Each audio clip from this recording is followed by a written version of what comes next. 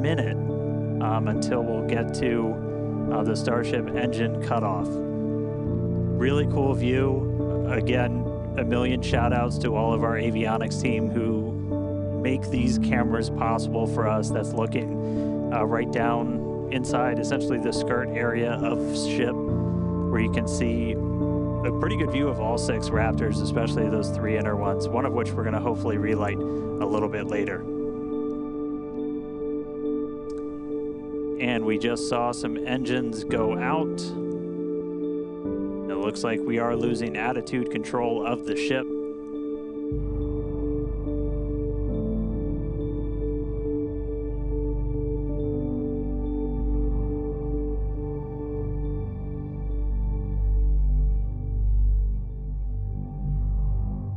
Ship FTS is saved.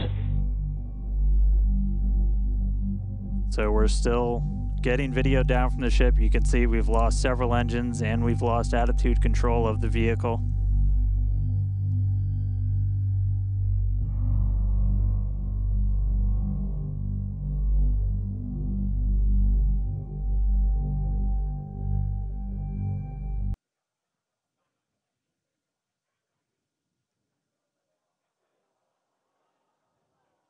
So we'll continue to stick with it.